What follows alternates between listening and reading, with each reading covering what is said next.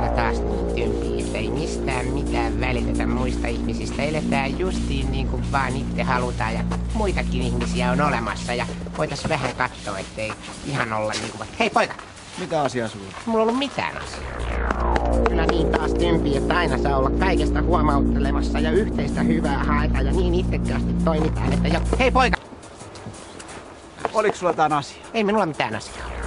Kyllä niin taas tympiä, että vaikka kuinka lähetettäis lappuja ja sovittaisiin mitään, ei välitetä mistään. Hei poika, hei! Oliko sulla jotain asiaa? Ei mulla mitään asiaa. Tää mitään välitetä ja eletään kuin pellossa ja käytävä on niin kauhean näköinen, että se menee kohta hiontaan koko käytävä. Että voitais vähän ajatella, että tässä talossa muitakin. Poika, hei, hei, hei, poika, poika, poika. Niin oliko sulla jotain asiaa? Ei mulla mitään asiaa.